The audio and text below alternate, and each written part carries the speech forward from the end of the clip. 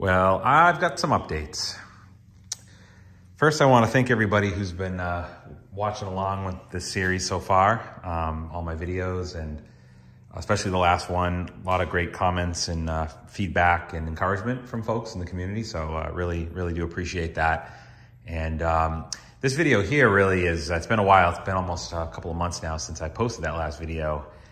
And a lot's transpired since then. So as you can see from looking at the uh, Jeep, it's pretty much all together at this point and uh, there's a lot to talk about here. So I want to uh, take an opportunity today to really walk you through what I had to go through to get this uh, MD Juan body to fit. And by no means is this, uh, you know, what I would consider a ultra professional or, or you know, world-class bodywork type situation. I think there's other channels that can give you better information about how to do it that way what I'm doing here is this is sort of what I was able to do with some rudimentary tools and know-how and uh, just getting this body to fit with really, like I said, just some basic, uh, some basic know-how and tools. So we'll go through that. And it's, I honestly, I suggest watching this if you're, even if you're not uh, going to use one of these MD Juan bodies, I, uh, even if you're restoring using uh, whatever, you know, the, those SGI tubs or, or even, um, even an original tub, I think it's, it's helpful to just kind of get a sense of,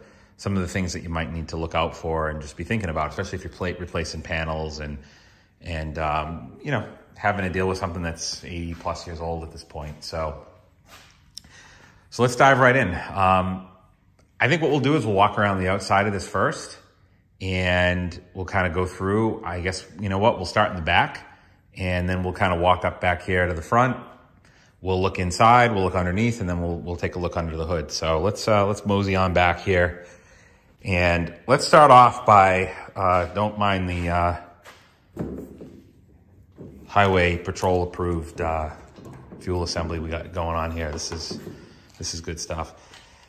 So let's start off in the back. Um, I'm going to be putting, you know, blinkers and, and uh, tail lights uh, on both sides. So of course I, I had to drill those holes as you'll see here. Not a big deal. Again, you know, that kind of modification very acceptable, makes total sense, right? Uh, you'll notice that I have some of the footman loops hanging here. So on the tailgate, these holes were not drilled. So when you get a new tailgate, you're not gonna get these holes. You also don't get the loops um, unless you have them. So I found a good company on eBay that makes really high quality loops which seems to be a very similar kind of beveling um, to what the factory ones would have been, the flathead screws, things like that. So uh, I put those in place. Now there should be a footman loop on this side here, and there should be one on this side here, and that has to do with the soft top. Uh, where it belongs, so I, have been I've been working with a 3A body, a full a fully original 3A that I've been I've been using to uh, as a template. Now this is a 2A, so it's going to be a little different. We'll get into one of those key differences later on when it comes to the seats, and I got a lot to tell you about the seats. Um, probably should just do a separate video on it, but but anyway, looking at that 3A, so so the challenge we have, you, I don't know how well you can see it, but you'll see some kind of uh, spot welds here. Well, right where these footman loops supposed to be, there's actually a, um, a crease inside here and some spot welds. So it wouldn't be easy for me to install these footman loops where they're supposed to be. So I'm debating whether I put them above. Maybe I'm going to mount them above. I'm not sure. But if I'm going to drill the holes, I want to do it before I get the body painted. Um, but in terms of the back of the Jeep, so that was what we had to do there. I think in a previous video, I already talked about having to weld on these mounts. These didn't come with it. So here and here on both sides for the soft top. Um, so got those welded up. Did that a while ago. You'll notice the spare tire mount. And I'll just try to give you a good shot of what this looks like in. Uh, I'll get my little bungee cord away out of the way for you here. Uh, there we go.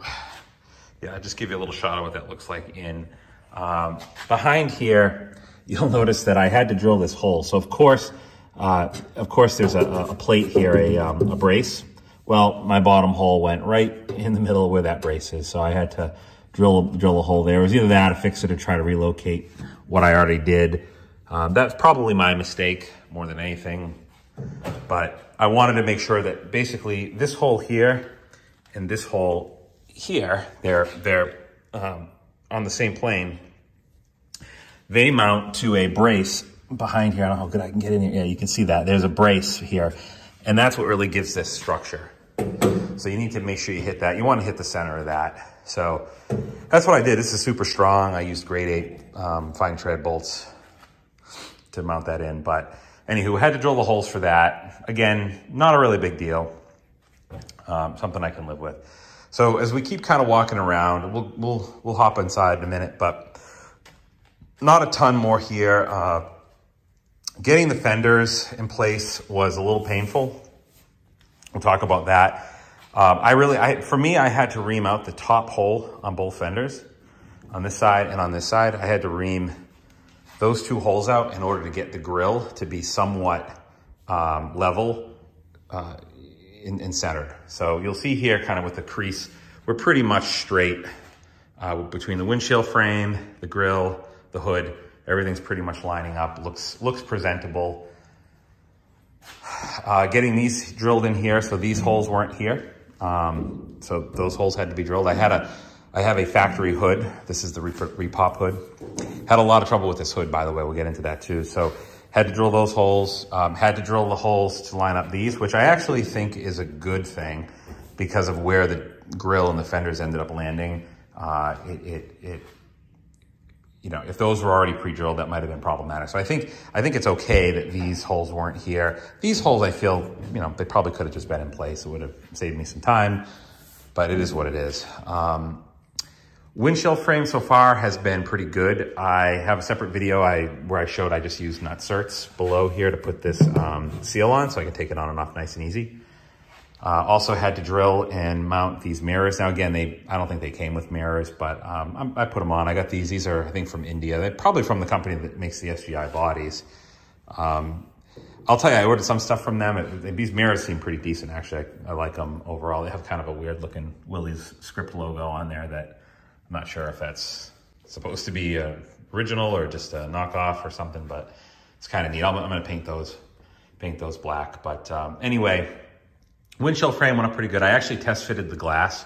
So the glass is in pretty good shape. I even uh, test fitted up here. You'll see the holes for the um, wiper and I'm just using the hand crank wipers.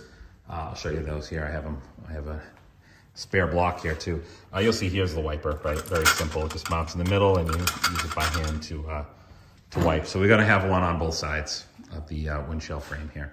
So with this hood, my gap, and I think I'm, I don't know if I remember if I talked about this in the other video, my gap um, here was enormous on, on the other hood. The problem was the hood, and if we, we step back on this side here, we'll notice we're looking real good now where we've got a nice nice seam here. The seam was was way out of proportion. This was lifted way up. Um, the hood was was kind of bowed the wrong direction. Same on the other side. So we ended up getting pretty creative in order to bend this hood. Um, you know, I have a lift, I'm fortunate in that sense. I know a lot of folks might not have that. What I did was I put uh, these two two by fours on the ground, I spread them apart, slid them under the lift arm here, flipped the hood over, and you'll see the bottle jack is still there. Basically use the lift uh, as weight. So I, I uh, we'll, we'll, open the hood real quick. So what I ended up doing was I, uh, See the back here, this back rib? I, I actually pushed on, I pushed down on that with the bottle jack using the lift arms as a solid support with the weight of the Jeep on it. And what that did is that creased those arms a little bit, just enough so that when I fit the hood back on again, it bent, it bent this area down. That's what I needed. I needed this area to be bent down so that this seam here, this line would come down closer to the fender and that it would look better uh, you'd have a better angle. Now, is it perfect? No, again, I'm not a body guy, so, you know, it, it is what it is. But coming up here to the front, same thing here. I had to pull these out a little bit. So I had to pull open this because this was hitting the, the, um, the grill. And I even test, you can see here, I just, I haven't stapled this in yet, but this is the uh, reproduction, uh, I don't know what you want to call it, weather stripping. And I was just using that to test fit. Same on this side. I made a little bit more of a mess over here and I had to bang that out a little bit. But all in all, um, got things to be pretty symmetrical and that's about as good as, as like I said, someone like myself is gonna do. Um, and I think honestly, it looks really good. Uh, speaking about the grill, we'll look up front here and you'll notice the bulbs. I have 1157 bulbs in here. So yes, I, I did this against my better judgment. I, I drilled these holes out just a tad. I wanted to have blinkers integrated in. So these holes are actually really small on the grill for this, this year grill that I have. Is an original grill. Um, so I drilled it out a little bit and I basically made my own little, um, you'll see them in here, my own little, uh, just get some sockets from uh, Amazon or actually from the auto parts store that accept 1157 bulbs and, and uh, made a little plate, used some nut certs. Um, use some nut certs, you'll see it up top there.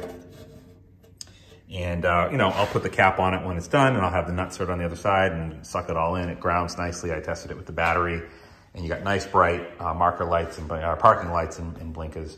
So uh, it's a, you know, it's nice. It looks good. It'll look, it'll look like it belongs there when we're all said and done instead of having something hanging off of it or whatever. Um, I do have an issue here in the middle of the uh, grill. You'll see this is kind of out of alignment. Uh, we'll get in there. So I got to fix that. I got to weld this up a little bit and tap a new hole when I'm when I'm done. But overall, this was by far one of the hardest parts is getting the fenders straight and getting the hood straight. This was, you know, this was a challenging piece of the piece of the puzzle uh, for sure. Let's move on inside. A uh, lot to talk about inside. I guess we'll talk about the windshield frames first. So these these clamps here, I will tell you, the ones that came with body, you know, junk. I'm fortunate that I had these original ones. These fit a lot better. The the reproduction ones, this uh, lip here, at least the ones that I got, maybe they're not all this way, but it's not long enough. So what ends up happening is it doesn't catch right. The latch just doesn't catch. So on both sides, it wasn't catching. I had these original ones. I had to heat them up, unfreeze them. There was some snap bolts. I, I fixed them. I'm gonna, I'm gonna clean them up and paint them when, uh, when I paint the Jeep. But these work really well. They work better than the new ones. So I'm, like I said, I'm, I'm gonna go with the new ones there. so there's a lot to talk about in here. I, this could, this could, I could go on for an hour easily about this. Uh, so what I'm gonna do is let me, let me grab a flashlight while we're talking about this. I guess what I'm gonna say is there's one thing here with this Jeep that really bothers me uh, more than anything else in terms of you know what I had to do to modify it. And we're gonna uh, we're gonna zoom on in on that in a second here. So hang tight, let me grab a flashlight and we'll uh, we'll dive in. So first off, you'll notice I had to drill a hole here for the body mount. That's what this is in the center of the floor. You have drill a hole for your seat. We'll talk about seats later. Had to weld in this clamp on the side for the um, fuel tank mount. You'll see the kind of how it burnt through the paint on the other side. Um, had to drill a hole on the other side of the seat here into the body. I used a nut, let's see if I can get a better shot of that. Put a nut in place to hold that. And uh, this area here is really, really tight. I did a separate video on the PTO. Again, put a nut cert in place. I, I had to expand the window where the PTO is. It was totally in the wrong spot. Now this Jeep didn't have a PTO. I'm really glad I bought one and put it in because this whole section in the middle was uh, was just totally, totally off. And if I had to cut that later on once I painted the body, I would have been really upset. So um, PTO's in good shape. It, it you know, works good. Um, made my own little plate underneath the factory plate there where the boot is. You'll see another plate that I made and again, use some nut certs to uh, get that in place. You'll notice on the transmission tunnel, um, one of the bolts here, I actually had to eliminate. It was in the way of, um, well, if I take all this apart, uh, you'll see the kind of the cuts I had to make into the transmission tunnel way off, um, way, way off. So uh, I don't need that bolt. I'm just gonna fill that in with weld and I'm gonna actually kind of weld up a new, uh, shape up a new tunnel cover using this one as a baseline to get rid of this extra space. I was fortunate. I had to cut some more into the body over there for the um, for the transfer case, but the um, the uh, the bracket that goes around it uh, looks like it'll fit fine. It'll cover up what I had to do, so I'm, I'm just going to clean that up a little bit. And if we look at the dash, I had to enlarge this hole for your light switch. I This hole didn't exist. This is for your um, high beam indicator. That hole didn't exist, so I had to drill that hole. And the for the throttle and choke cables. Um, had to enlarge those holes. This hole was the right size. This is for the uh, your dash light. These holes seem to be good. Um, and I'm actually gonna use the ammeter. So this voltmeter is gonna go down here into this little aftermarket uh, gauge thing. And I might just leave it in there for a little while or take it out. Um, but again, I put some nut certs in the dash so I can cleanly take that in and out. Um, I also had to enlarge the hole over here where the uh, key ignition switch goes. And of course I had to drill the um, holes for the plaque, for my, my Jeep plaque. So all those holes needed to be drilled, enlarged, fixed, whatever. Again, not a big deal. None of this stuff so far to me is a big deal. Uh, I think in a prior video, I told you I had to uh, kind of edit the uh, where the steering column is. So I had to make a bigger bracket. So I did that. I made a bigger cover out of some steel, got a hole saw, five inch hole saw, and a, I forget what size the middle one was, but um, so I made my own there. The rubber boot that goes in there fits nicely. So that's all well and good. The thing that bothers me the most, I'm gonna try to slip you in here, is you'll see here we have our, where our throttle arm, I guess that's what we call it. Well, that was hitting the body. That arm that you see right there was hitting the body. And I couldn't figure out, well, I, I was having trouble pushing the body forward. So of course it was getting stuck on that. But also the uh, my pedal wasn't really moving. And it wasn't obvious to me at first what was going on. And uh, when I got in under the hood with the flashlight, I was able to see paint wearing off. So I painted that gray onto the body. And sure enough, I mean, it's a pretty, it's a pretty bad spot. I mean, it's a seam on another seam and I had to cut the, I mean, I really had to cut this in place. I wasn't going to rip the whole body off just to, uh, I'm going to, now when I take the body off for paint, I'm going to go ahead and fix this hole and, and clean it up. And I'm probably going to put a removable panel here because there's a cotter pin that actually holds um, this this rod onto the engine block. And if that ever goes, I mean, it's it's next to impossible to get at that um, under the hood. So I might I might use this to my advantage and keep the window there. But it's just a bummer that I have to cut such a, a, a big hole ultimately to, to, for this to fit on a brand new body that was designed for, you know, a 2A. I mean, my frame is really straight. The engine is straight. Everything, you know, the drivetrain is straight. Everything's in the right spot all the clutch linkages, everything lines right up. So from my perspective, this part of my frame is, is really good. I mean, there's really no issues with it. So why on earth the body didn't line up there? And the rear body mount holes line up perfectly with, with the rear uh, cross member. So even, even on the front, things line up on the frame in the body where they look like they're supposed to. The fenders line up where they're supposed to. So everything's lining up where it's supposed to be, body to frame. But this center section of the of the body is really just this whole area here where the where the from the PTO to the transmission tunnel to something's just not right there. And um, I forget the exact measurement. So from when we look at the rear um, wheel well, this is shorter on a 3A body and it's longer on a 2A body. So I have a 2A body. Why does that matter? Well, it matters because, well, first of all, this is a 2A, so it's, it is the right body tub but it matters because of the seat.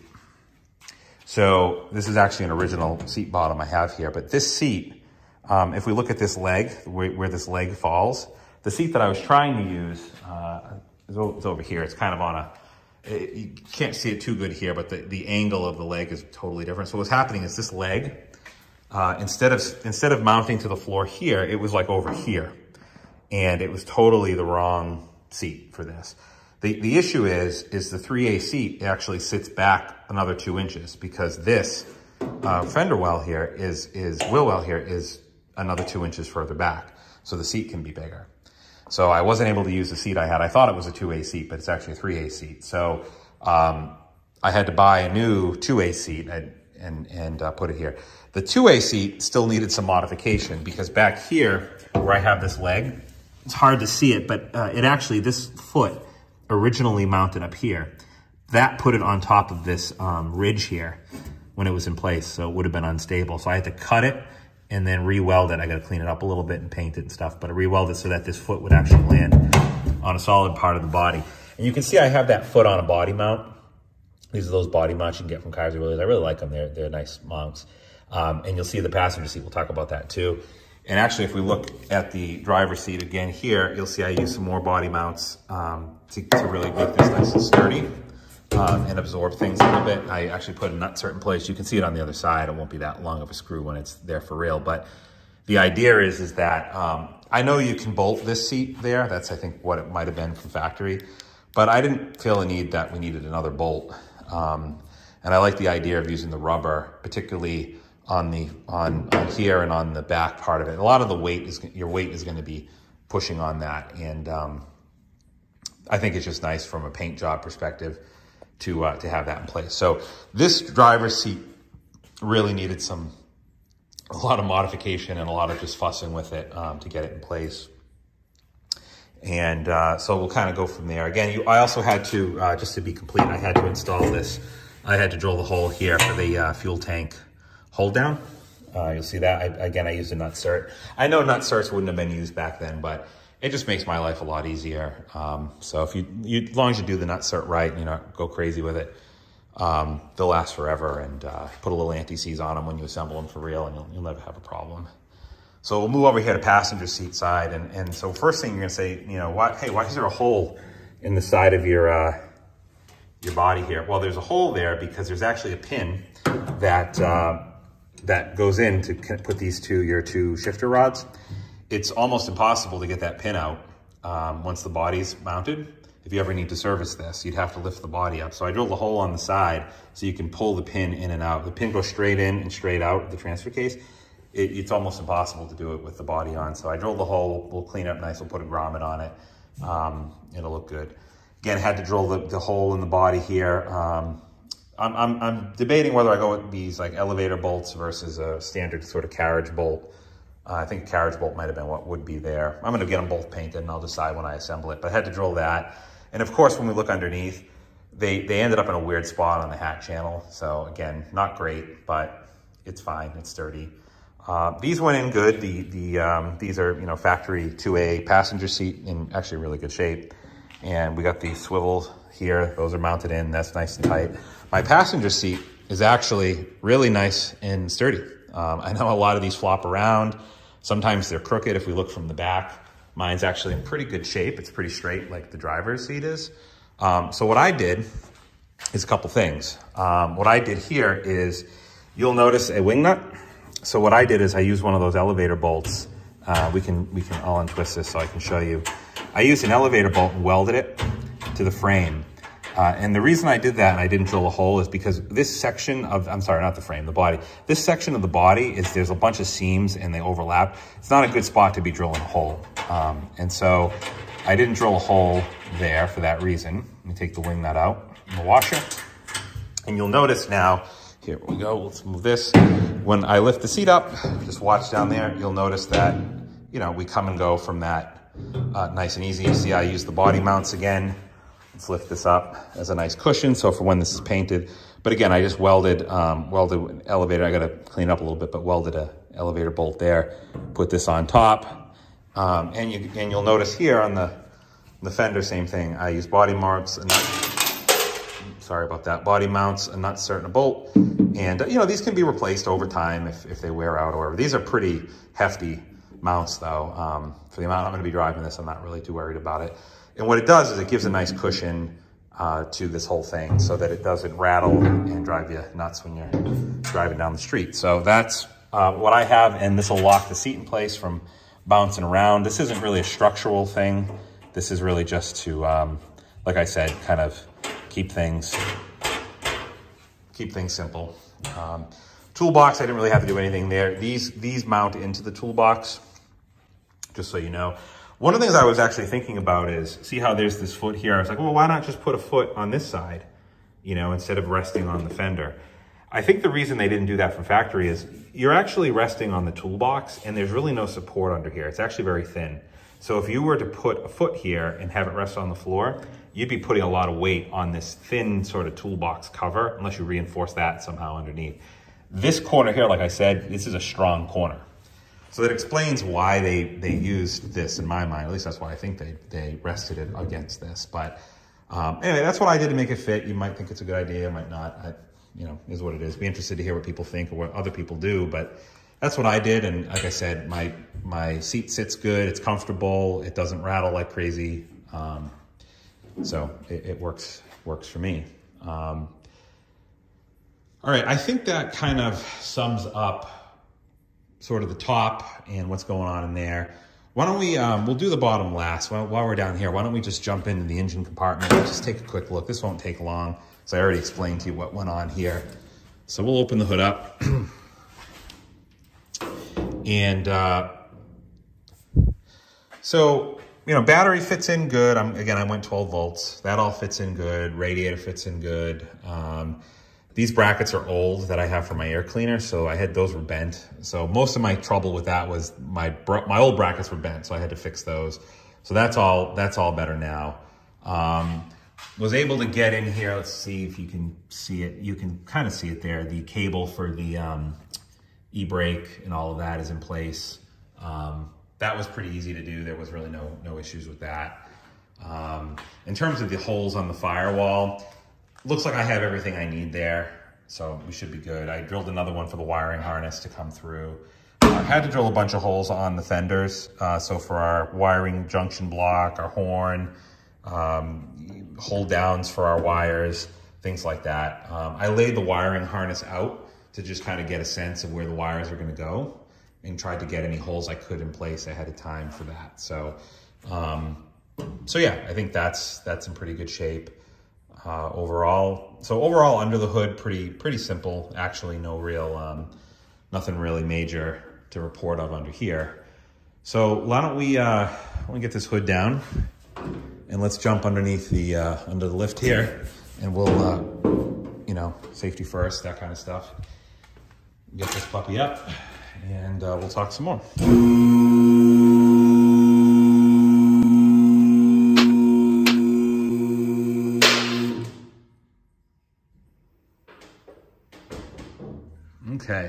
Let's make sure the lift is uh, rested on, uh, on the locks before we go underneath.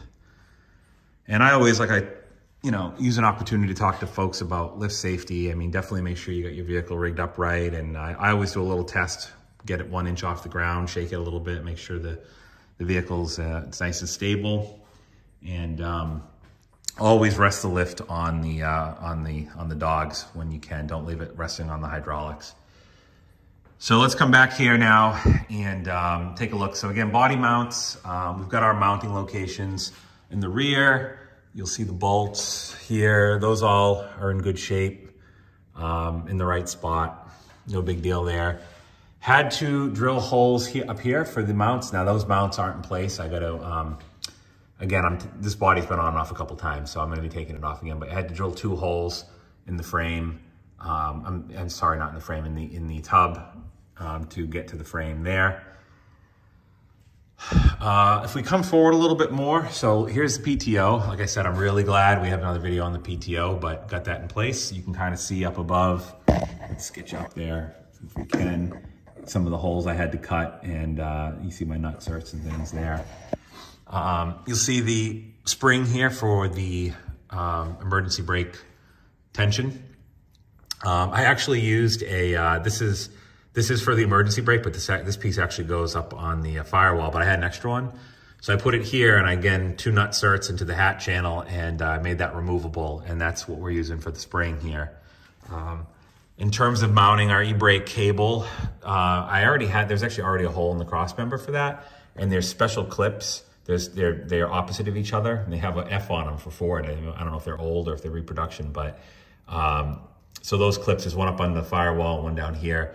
But that's all in place good. This is all mounts good. The e-brake works. Um, had to drill a hole here for the for the uh, fuel tanks. You'll see I had to ream that out a little bit. So that was something else that needed to be done. Uh, you'll see here my clutch rod. I had a lot of drama with the clutch rod. Ended up going with Heim joints and uh, extending that longer. So on this side of things and uh, on this side of town here where the um, transmission, uh, get the light over here as best I can, where the transmission uh, to the clutch fork. Um, that's just using a standard cable. It's, I know it's a little hard to see. I don't know why the camera's not, there we go. Uh, but yeah, that's all standard stuff. But on this side here, again, I used a threaded rod, uh, 5 16 fine thread, and two Heim joints um, to get the length that I wanted uh, on that. So it's a handy, handy way to do it if you need to make an adjustment. It's a little easier to do it on this side because you only have so much cable and tread on, on this side to adjust, adjust your clutch. Um, so that had to be done. Uh, let's see, moving forward.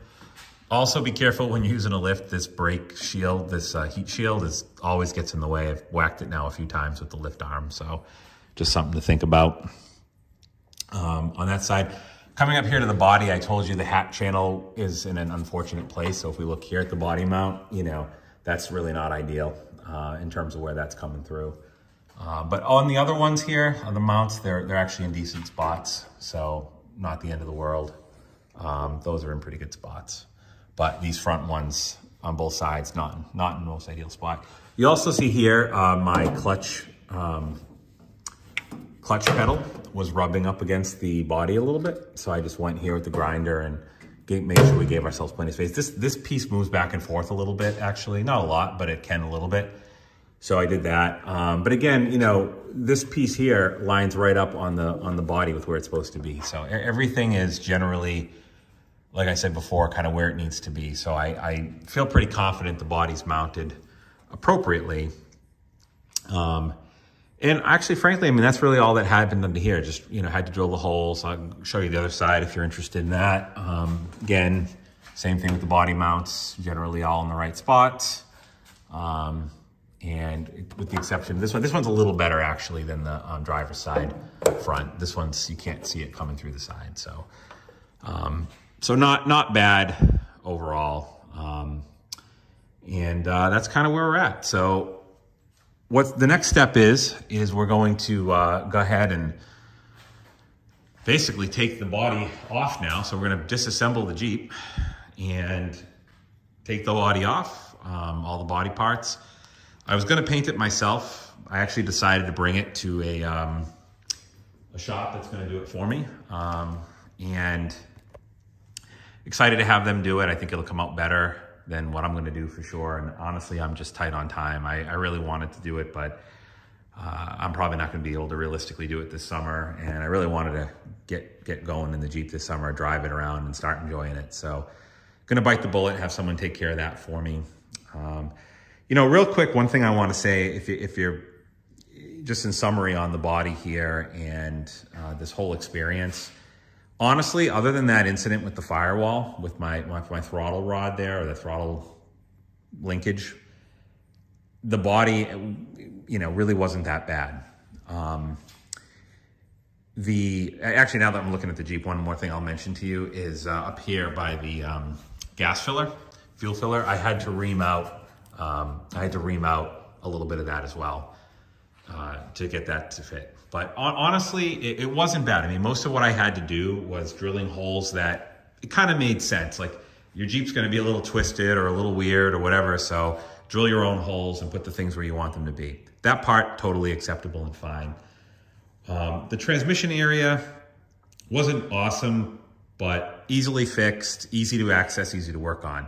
The firewall piece, I mean, that's a really a structural part of the body in a lot of ways. And such a bad area to work on. I mean, it's going to be really hard for me to make a nice panel, make something good. I, again, I'm I'm an amateur at these things, so I'm not I'm not a metal worker really. Uh, I'm sure I could hire someone to do something, but I mean, that kind of defeats the purpose of this project. I want to do as much of this as I can myself. And, uh, you know, so it's going to take me quite a bit of effort to, to make that look presentable and make that, um, make that into something decent without creating further obstructions while doing it. So, that that part was really the only part that I would say I really regret about this. And I hope if they're watching this uh, video, I, you know, overall, like I said, it's it's really not a bad setup, but that one piece is really uh, really kind of unfortunate. So if there's anything you can do for the future, uh, folks making this or watching it, I think that'd be great for for future buyers. But uh, I mean, overall, I, I think this has been a, a good enough experience, and, and for what it is, I'm pretty happy with it. What I will say, and just, uh, you know, no, no uh, endorsements here or anything like that, but uh, if you are going to be doing this kind of work, a couple of tools that I recommend. It doesn't have to be this brand, but I have this cutoff tool here. It's a Milwaukee, um, but it's got a nice shield on it. It can go forward and reverse, so you can change the direction, which kind of changes where the sparks fly, frankly. Um, this has been really helpful. I've used this a lot in some of the cutting I had to do with the body. By far, this tool here, this sort of um, cordless die grinder, uh, has been awesome. And these bits, these sort of reaming bits, have been invaluable. I've got a whole case of these I bought off of Amazon, I don't know, 30, 40 bucks. And I've really only used this one bit, um, but there's a whole, whole case of these bits that go with this. I have to tell you, to make things fit on here and and to widen these holes up and and and get the body mounts in the right spot and just all the little tweaks I had to do um, this tool and this bit have been invaluable to me. I mean, really, I don't even know, I, I might have given up without it. So uh, just an important thing to have. Uh, a good set of drill bits. I mean, this, this is Harbor Freight stuff, but these drill bits have actually been pretty good. Been pretty happy with them overall. Uh, had to go out and get a right angle drill um, as part of this, so I think that's a good tool to have as well. Um, I've got all different brands of tools, but my more recent stuff, I've been going with Milwaukee just to, you know, have some good batteries and, and, and, things of that nature. But the right angle drill was key. There were some holes I had to drill on here where by the time I got to where they were and the level of assembly of the body, I would have had to have taken the body apart or taken it off in order to drill the hole. And having the right angle drill um, had allowed me to uh, you know, not have to do that, right? Or to get into a tricky spot or get under the dash, right? You know, so I, you know, again, I recommend you go with whatever, you know, brand you like, but just having those, uh, that capability is, is, uh, is really nice.